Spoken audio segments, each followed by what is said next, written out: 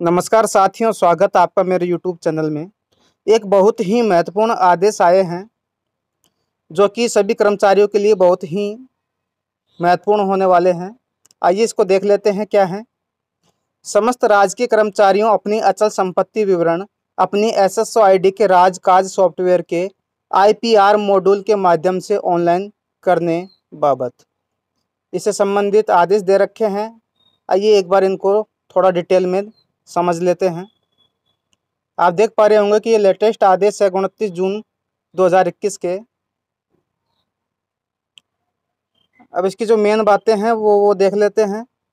राज्य सरकार द्वारा समस्त विभागों के समस्त कर्मचारियों की अचल संपत्ति का विवरण एक एक दो हज़ार इक्कीस एवं इसके पश्चातवर्ती वर्षों की अचल संपत्ति का विवरण ऑनलाइन किए जाने का निर्णय लिया गया है। अब नीचे इसकी प्रक्रिया भी दे रखी है। क्योंकि अभी साइट चल रही नहीं है, अगर चलती तो मैं आपको लाइव प्रक्रिया करके बताता। अभी देख लेते हैं, बहुत जल्दी वीडियो लाइव प्रक्रिया का भी इसी चैनल पर आ जाएगा। तो आप चैनल को सब्सक्राइब करके ज़रूर रखें। अचल संपत्ति विवरण इमूवेबल प्रॉपर्टी रिटर्न सबसे पहले हमें क्या करना है एसएसओ जो हमारी लॉगिन है S S O Rajasthan dot government dot in उसमें लॉगिन करना है जो हमारी एम्प्लॉय आईडी है और पासवर्ड है उसके थ्रू। इसके बाद में वहाँ पर एक सॉफ्टवेयर होता है राजकाज। तो आपको राजकाज के क्लिक कर लेना है। इसके बाद में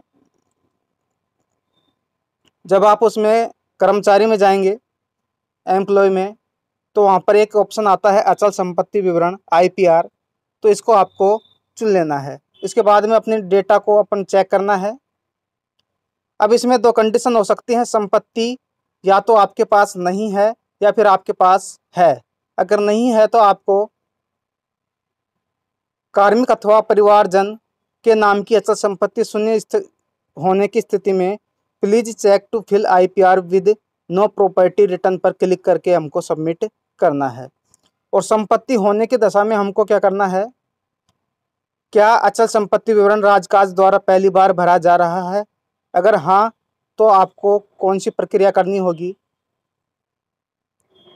अचल संपत्ति होने की स्थिति में कार्मिक के नाम की अचल संपत्ति का विवरण सेव करना है। इसके बाद में अगली संपत्ति का विवरण देना है। अगर पहली बार नहीं भर रहे हैं तो पूर्व में भरे गए अचल संपत्ति विवरण को वन बाइस वन सेलेक्ट करके अपडेट करें। किसी भी प्रकार का बदलाव होने के क्रय विक्रय मूल्य अन्य परिवर्तन की स्थिति में ऐड, डिलीट या अपडेट करें। ये सारा काम करने के बाद में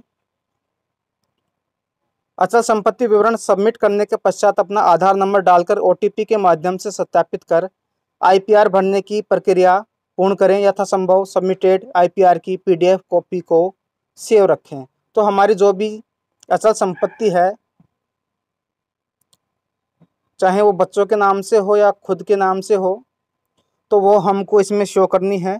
और उसके बाद में सारी डिटेल सबमिट करनी है और उसकी पीडीएफ को सेव भी करना है। तो इसकी जो प्रोसेस होगी, वो जैसे ही साइट चलती है, मैं तुरंत वीडियो बना के डाल दूँगा। इस वीडियो में इतना ही रखते हैं।